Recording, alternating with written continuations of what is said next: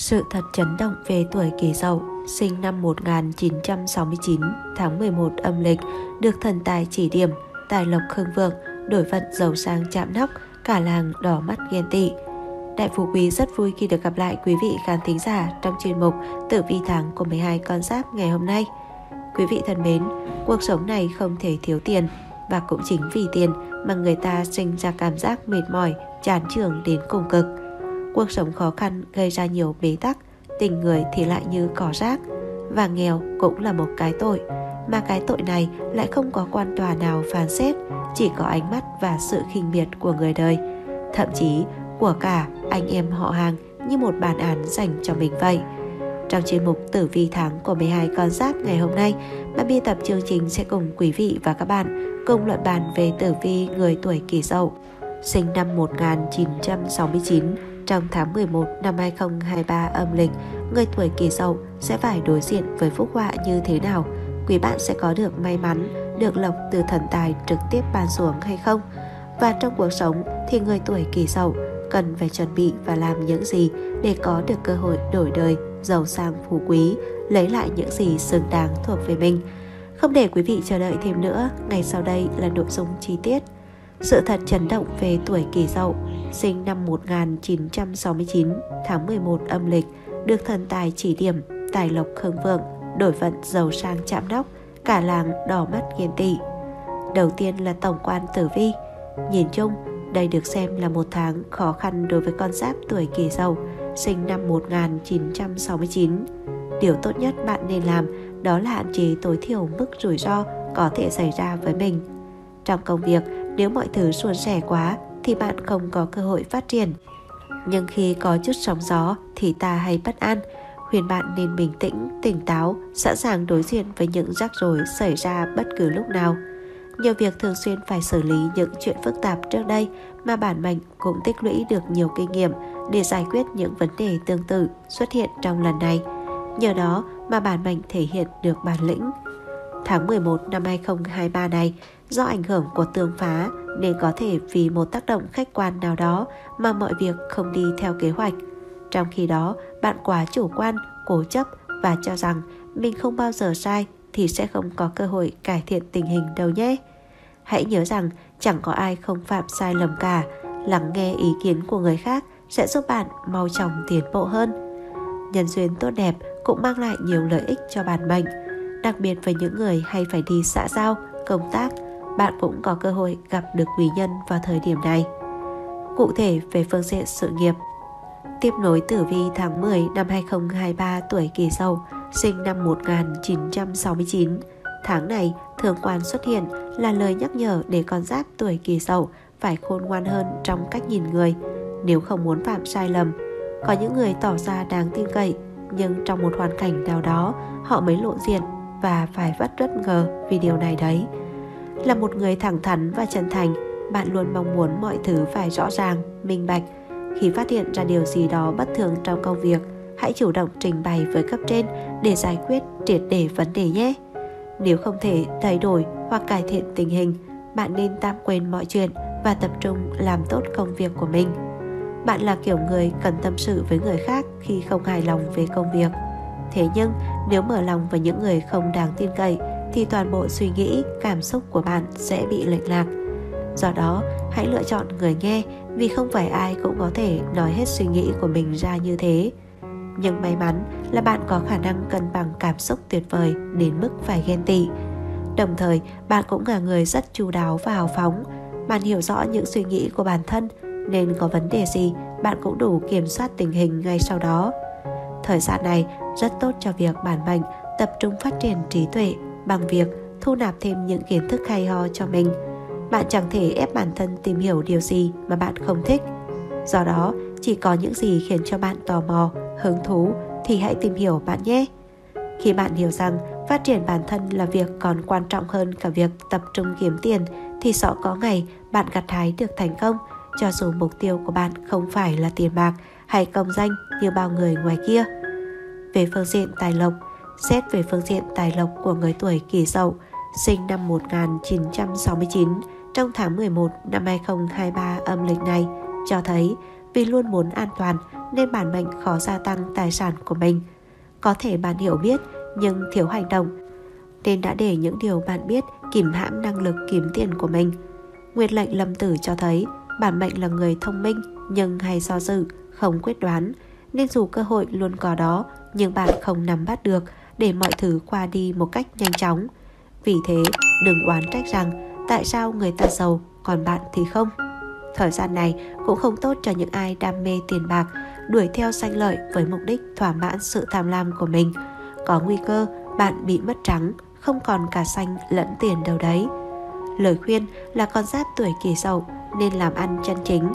Tuy mọi thứ phát triển chậm nhưng sẽ tốt hơn là việc tiền nhanh đến và nhanh đi. Cuối cùng, bạn chẳng thể tích lũy được gì. Về phương diện sức khỏe, theo dõi tử vi tháng 11 năm 2023 của 12 con giáp. Về phương diện sức khỏe của con giáp tuổi kỷ dậu, sinh năm 1969, không có gì phải quá lo ngại cả. Thời tiết không phải là tác nhân gây ảnh hưởng tới bạn quá nhiều. Ngũ hành tương sinh hỗ trợ cho bản mệnh cải thiện tình hình sức khỏe hiện tại. Cơ hội cho những ai đang ốm đau sẽ hồi sức nhanh hoặc tìm được bác sĩ phù hợp để chữa bệnh cho mình. Thời gian này có thể thấy người tuổi kỷ dậu quan tâm, chăm sóc sức khỏe của mình hơn bao giờ hết. Về phương diện tình duyên, phương diện tình cảm của tuổi kỷ dậu sinh năm 1969 trong tháng 11 năm 2023 nhìn chung suôn sẻ, hanh thông. Khi bạn trở nên hài hòa, vui vẻ với mọi người cũng là lúc bạn nhận được yêu thương nhiều nhất. Bạn là con giáp không thể thiếu trong tập thể, là chỗ dựa vững chắc của mọi người. Vì thế, khi ai đó cần xin lời khuyên hay đơn giản là muốn được lắng nghe bạn, nên sẵn lòng ở bên họ nhé. Thải âm cát tinh tốt cho những mệnh, phù trợ cho nhân duyên thêm phần tốt đẹp. Bạn được nửa kia của mình yêu chiều, chăm sóc tận tình. Tiếp sau đây là vận trình từng tuần trong tháng 11 âm lịch của tuổi kỷ dậu. Tuần 1 từ ngày mùng 1 tháng 11 đến ngày mùng 8 tháng 11 âm lịch. Đầu tuần, công việc có nhiều khó khăn, bản mệnh lại không đủ tự tin để giải quyết, phải chờ tới cuối tuần khi có quý nhân trợ vận, thiên ân các thần chỉ lối dẫn đường thì tuổi kỷ dậu mới nhìn ra vấn đề và dám xuống tay để xoay chuyển cán khôn. Dù làm việc gì, bạn cũng không được bỏ qua những suy cơ tiềm ẩn, nên nhớ dục tốc bất đạt, bạn càng nóng vội thì càng dễ xảy ra sai sót. Cẩn thận trước khi tiến hành sẽ không bao giờ là thừa thãi và nó sẽ giúp bạn tránh được tối đa các rủi ro không đáng có. Sự xuất hiện của hung tinh thiên cầu còn mang theo cả họa thị phi, tranh chấp, thậm chí còn dẫn đến kiện tụng nếu bản mệnh giải quyết không khéo. Đôi khi im lặng nhẫn nhịn không phải là chấp nhận rằng bản thân thua kém, mà đó là cách làm khôn ngoan để bạn không nhận phần thiệt về mình. Tuần 2, từ ngày 9 tháng 11 đến ngày 15 tháng 11 âm lịch. Theo tử vi tuần giữa tháng của tuổi kỷ dậu, bản mệnh có giao dịch mã chiếu mệnh nên sẽ gặp phải đôi chút khó khăn khi muốn theo đuổi những gì mình muốn. Vốn là người có tài năng, sự mẫn tiệp và đặc biệt không ngại khó, không ngại khổ, nên bản mệnh vốn không cần phải quá lo lắng.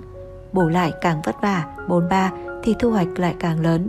Khi những gian nan đó qua đi, nhìn lại chặng đường đã đi qua, bạn sẽ vô cùng tự hào về bản thân cũng như cảm thấy công sức mình bỏ ra hoàn toàn xứng đáng. Khó khăn đổ dồn vào những ngày cuối tuần, nhất là ảnh hưởng của tỷ kiên khiến bạn vất vả, xoay sở các mối quan hệ xung quanh. Tuy nhiên, cuộc sống sẽ thư thả hơn nếu bạn bớt để ý tới những lời nói của người ngoài. Xét cho cùng, chính ta mới sống cuộc sống của mình, chứ không phải một ai khác. Tuần 3, từ ngày 16 tháng 11 đến ngày 22 tháng 11 âm lịch. Tử vi tuần mới của 12 con giáp báo rằng người tuổi kỷ dậu có vận trình cân bằng, cát hùng họa phúc đều có đủ. Đây sẽ là tuần thử thách khá nhiều với tinh thần của bạn, bởi có nhiều vướng mắc tình cảm phải giải quyết quan hệ xã giao, quan hệ tình thân và quan hệ tình ái. Người này được sao tử vi nâng đỡ, rất có lợi về đường sự nghiệp và tài lộc. Bạn tiến thân bằng năng lực, nỗ lực làm việc và có kiến thức chuyên môn vững vàng nên có vị thế khá cao. Nhưng nếu không xử lý tốt quan hệ với đồng nghiệp thì đây sẽ là cản trở lớn trong đường thăng tiến. Tài lộc khá, tuy người tuổi kỷ dậu không sung sinh dồi dào nhưng đủ ăn đủ tiêu. Bạn thích gì có thể mua nấy, tự phục vụ bản thân mình. Lưu ý không nên tham lam của bất nghĩa hay nhận quá nhiều quà tặng của người khác vì bạn có điểm báo họa về tiền, thị phi liên quan tới tiền do kiếp tài mang tới. Tới lúc đó không chỉ tiền mất mà còn tật mang đấy. Tuần 4 từ ngày 23 tháng 11 đến ngày 29 tháng 11 âm lịch.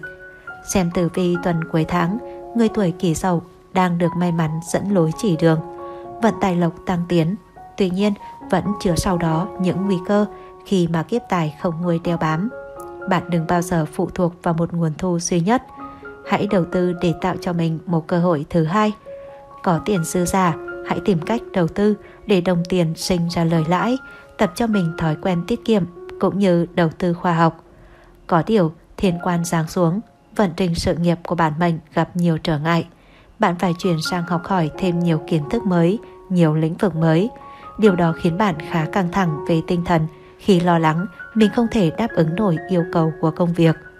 Tuy có nỗ lực và quyết tâm, nhưng có nhiều thứ không phải chỉ dựa vào đó mà có được. Chúng ta cùng đến với cẩm nang vượng vận cho tuổi kỷ dậu trong tháng 11 âm lịch. Khẩu quyết, cạnh tranh khá lớn, mâu thuẫn nội bộ gia tăng. Quý nhân là tuổi mão và tuổi tuất, tiểu nhân là tuổi ngọ và tuổi thìn. Tuổi kỷ dậu sinh năm 1969 hợp với màu nào? Nam và nữ sinh năm 1969 nên sử dụng màu vàng, màu nâu đất là màu tính thổ. Đặc biệt nên dùng màu đỏ, màu hồng, màu tím là màu tính hỏa sẽ kích thích tài vận phát triển, hỏa tương sinh thổ, lợi cho thổ. Màu sắc tương sinh, những người sinh năm 1969 mệnh thổ nên sử dụng trang sức đá phong thủy có màu đỏ, màu vàng, màu tím thuộc mệnh hỏa để được năng lượng tương sinh. Trong phong thủy, hỏa trình thổ nên khi sử dụng trang sức đá phong thủy có các màu trên sẽ giúp kích thích năng lượng của bản mệnh phát triển, từ đó hỗ trợ cuộc sống, công việc được thuận lợi, mở rộng và phát triển. Màu sắc tương hợp, người sinh năm 1969 mệnh thổ khi sử dụng những loại trang sức đá phong thủy có màu vàng, màu nâu đất là những màu sắc thuộc mệnh thổ sẽ giúp bổ sung nguồn năng lượng của chính bản mệnh của mình, từ đó thu hút cát khí, mang lại may mắn. Màu kiêng kỵ, những người mệnh thổ cần tránh sử dụng trang sức đá phong thủy có màu xanh lục vì đây là những màu sắc thuộc bản mệnh mộc. Theo ngũ hành tương khắc, mộc khắc thổ, nên đây là những màu sắc tương khắc gây cản trở, ức chế năng lượng của bản mệnh thổ, làm cho những người này cảm thấy tù túng, không thoải mái, công việc và cuộc sống bị trì trệ. Mẫu chỉ khắc, ngoài ra người mệnh thổ có thể đeo những loại đá màu xanh lam và màu đen vì thổ khắc thủy nên người mệnh thổ có thể chế khắc được năng lượng thủy trong các loại trang sức đá phong thủy có màu trên. Tuổi kỷ dậu, sinh năm 1969, hợp với hướng nào? Hướng xấu cần tránh, hướng Tây Bắc họa hại hay nhà có hung khí, luôn luôn gặp suối quẩy, bất hòa với các mối quan hệ. Hướng Đông Bắc tuyệt mệnh hay chết chóc, gặp họa nguy hiểm tới tính mạng hoặc phải chứng kiến sự chết chóc. Hướng Tây lục sát hay nhà có sát khí, mang nhiều tài tiếng thị phi, bị vô oan tiếng xấu, tranh chấp với bên ngoài. Hướng Tây Nam ngũ quỷ hay gặp tai họa, gặp nhiều tai họa bệnh tật, làm việc gì cũng xui xẻo, tàn xa bại sản. Những hướng hợp nhất đối với nam tuổi kỷ dậu, hướng Bắc sinh khí hay phúc lộc vẹn toàn, phú quý giàu sang, hút tiền tài và danh vọng, lộc làm ăn nên ngồi làm việc theo hướng này. Hướng Đông diên niên hay mọi sự ổn định, gia đình gắn kết trên dưới thuận hòa nên đặt làm cửa chính để đón sự yêu thương vào nhà. Hướng Nam thiên y hay gặp thiên thời được che chở, có thể nhận được lộc trời cho để sinh con đẻ cái, phú quý giàu sang nên đặt làm phòng ngủ. Hướng Đông phục vị được sự giúp đỡ, cuộc sống yên ổn, luôn thoải mái thuận lợi yên ổn trong những công việc muốn làm, an khang thịnh vượng nên chọn làm nơi phòng làm việc. Tuổi kỳ dậu hợp với tuổi nào? Theo quan niệm thương sinh, hỏa sinh thổ, thổ sinh kim. Người sinh năm 1969 hợp với người mệnh hỏa hoặc mệnh kim. Theo quan niệm tương khắc, mộc khắc thổ, thổ khắc thủy. Người sinh năm 1969 không hợp với người mệnh thủy hoặc mệnh mộc. Tứ hành xung, kỷ dậu không hợp với tuổi tý con chuột, tuổi mão con mèo và tuổi ngọ con ngựa. Những người tuổi này khi tiếp xúc thường khó ra bướng bỉnh, bảo vệ quan điểm riêng mà không chịu nhìn nhận và lắng nghe – khi một trong hai bên mắc lỗi lầm, họ thường có xu hướng hận thù, khó tha thứ cho nhau. Hành động này nếu diễn ra âm ỉ sẽ phá hoại mối quan hệ trong tương lai. Tam hợp là tuổi kỷ dậu hợp với tuổi sửu con trâu, tuổi tỵ con rắn. Những tuổi này kết hợp với nhau rất ăn ý. Nếu là tình yêu sẽ nên duyên vợ chồng, nếu là bạn bè hoặc đối tác sẽ thân thiết, tin cậy. Tuy nhiên, sự trung thủy và duyên số mới là chìa khóa để mở cánh cửa hạnh phúc, gắn kết lâu dài. Hướng xấu cần tránh, hướng bắc tuyệt mệnh hay chết chóc, gặp họa nguy hiểm tới tính mạng hoặc phải chứng kiến sự chết chóc. Hướng đông họa hại hay nhà có hung khí, luôn luôn gặp suối quẩy, bất hòa với các mối quan hệ. Hướng nam lục sát hay nhà có sát khí, mang nhiều tài tiếng thị phi, bị vô oan tiếng xấu, tranh chấp với bên ngoài. Hướng đông nam ngũ quỷ hay gặp tai họa, gặp nhiều tai họa bệnh tật, làm việc gì cũng xui xẻo, tán ra bại sản. Những hướng hợp nhất đối với nữ tuổi kỷ dậu. Hướng Tây Bắc diên niên hay mọi sự ổn định. Gia đình gắn kết trên dưới thuận hòa nên đặt làm cửa chính để đón sự yêu thương vào nhà. Hướng Đông Bắc sinh khí hay phúc lộc vẹn toàn, phú quý giàu sang, hốt tiền tài và danh vọng, lộc làm ăn nên ngồi làm việc theo hướng này. Hướng Tây thiên y hay gặp thiên thời được che chở, có thể nhận được lộc trời cho để sinh con đẻ cái, phú quý giàu sang nên đặt làm phòng ngủ. Hướng Tây Nam phục vị hay được sự giúp đỡ, cuộc sống yên ổn, luôn thoải mái thuận lợi, yên ổn trong những việc muốn làm, an khang thịnh vượng nên chọn làm nơi phòng làm việc. Tuổi kỷ dậu hợp với con số nào? Nữ kỷ dậu sinh năm 1969 thuộc mệnh thổ, bước sang tháng 11 âm lịch sẽ tương hợp với các con số số 2, số 5, số 8 hành thổ, tương sinh với số 9 hành hòa, số 6 và số 7 hành kim sẽ tạo thiện cảm, thuận lợi trong giao tiếp và gây ấn tượng với đối phương. Số hợp sẽ giúp bạn cải mệnh về gia chánh, công việc và cả tình duyên. Nam Ký Dậu, sinh năm 1969 thuộc mệnh thổ, bước sang tháng 11 âm lịch sẽ tương hợp với các con số số 2, số 5, số 8 hành thổ, tương sinh với số 9 hành hỏa, số 6 và số 7 hành kim sẽ gặp nhiều may mắn, tự tin phát triển công danh sự nghiệp và luôn gặp cơ hội đến với cuộc sống của mình một cách bất ngờ. Thưa quý anh chị và các bạn, cuộc sống của chúng ta đầy rẫy những khó khăn và thử thách. Nếu như chúng ta không có bản lĩnh, ý chí và nghị lực để vượt qua, thì mãi mãi chúng ta sẽ không thoát khỏi cái hố sâu đó. Như vậy, bản lĩnh có vai trò quan trọng làm nên sự tồn tại của một con người. Bản lĩnh chính là việc dám nghĩ, dám sống, dám làm những gì mà mình cho là đúng, không ảnh hưởng tới người khác. Bản lĩnh còn chính là sự gan dạ, dũng cảm, kiên cường vượt qua tất cả để giành được điều mà mình mong đợi.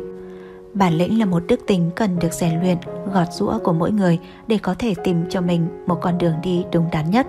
Khi chúng ta có bản lĩnh sẽ không phải cúi đầu, không phải băn khoăn, không phải lo nghĩ sẽ phải làm gì, làm như thế nào. Bản lĩnh sẽ khiến con người quyết đoán hơn, bản lĩnh sẽ làm nên một con người khác biệt. Bạn sẽ tự thấy mình không giống ai. Bản lĩnh sẽ khiến cho bạn tự tin hơn, vươn đến những ước mơ mà bạn đã từng suy nghĩ đến. Là một người sống bản lĩnh thì chắc chắn rằng bạn sẽ không ngần ngại làm sai và sửa sai, bởi bạn biết rằng thành công nào cũng sẽ đánh đổi bởi những thất bại. Nếu như bạn để mất bản lĩnh của mình, mọi việc sẽ rất khó khăn để thực hiện. Bản lĩnh không phải là một bản chất có sẵn, nó là một quá trình rèn luyện và phấn đấu. Những người có bản lĩnh thường là những kẻ sẽ thành công nhanh hơn và chắc chắn hơn. Bản lĩnh là một đức tính tốt đối với mỗi người. Chúng ta hãy cố gắng rèn luyện cho mình một bản lĩnh kiên cường để có thể trở thành một công dân có ích. Vừa rồi, Đại Phú Quý đã chia sẻ nội dung Tử vi tuổi Kỷ Dậu, sinh năm 1969 trong tháng 11 năm 2023 âm lịch. Hy vọng rằng với những thông tin mà chúng tôi vừa chia sẻ sẽ giúp cho quý vị có cái nhìn tổng quan hơn về vận trình công danh sự nghiệp, sức khỏe và gia đạo của mình. Từ đó có những kế hoạch để có thể chủ động nắm bắt được cơ hội trong tương lai. Quý vị cũng nhớ đăng ký kênh Đại Phú Quý để ủng hộ cho 30 tập chương trình, rồi sau đó nhấn vào biểu tượng chuông để liên tục được cập nhật những thông tin bổ ích mỗi ngày. Chúc quý vị luôn mạnh khỏe, bình an, gặp nhiều may mắn và thành công trong cuộc sống. Còn bây giờ, xin chào và hẹn gặp lại quý vị ở trong những video tiếp theo.